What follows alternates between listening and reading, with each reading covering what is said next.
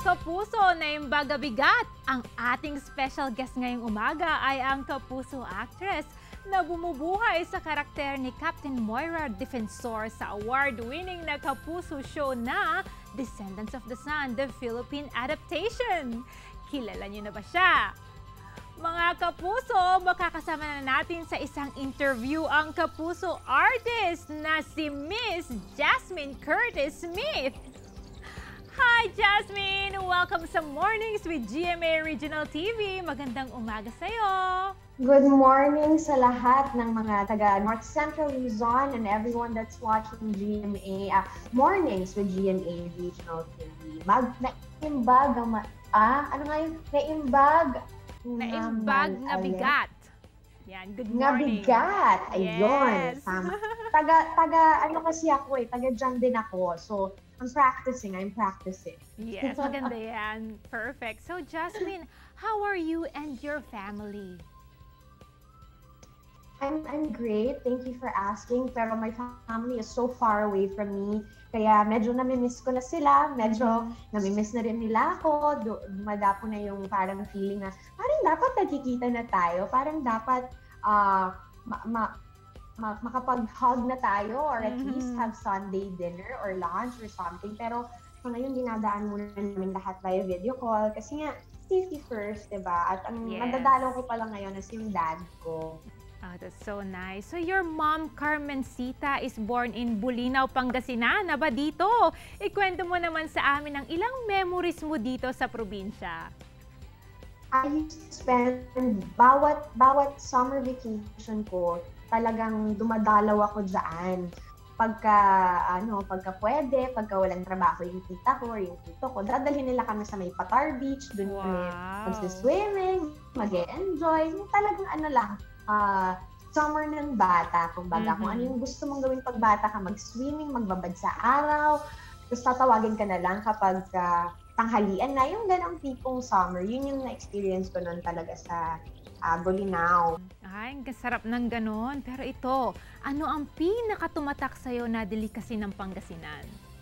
Alam mo, sa totoo lang kasi, ano ko eh, pihikan pagdating sa pagkain. Mm. Kaya, I, I, I'm not sure kung tama ang ang pagkakaalam ko, but yung dinding-ding, Oh!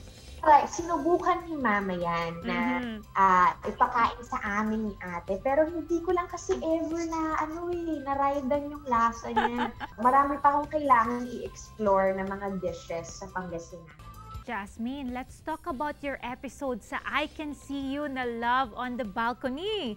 How was working with Alden Richards?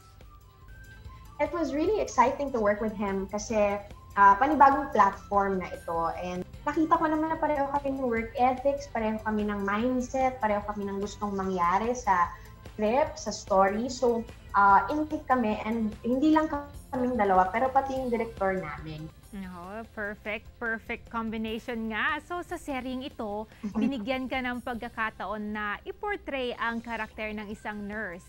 Ano ang na-realize mo sa mga sakripisyo ng isang medical frontliner?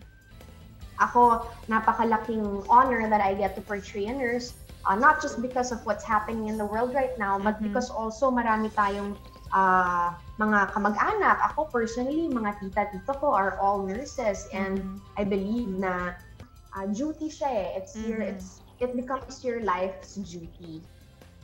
Jasmine, marami ang kinilig sa unang offering ng I Can See You na Love on the Balcony na pinagbibidahan nyo ni Alden.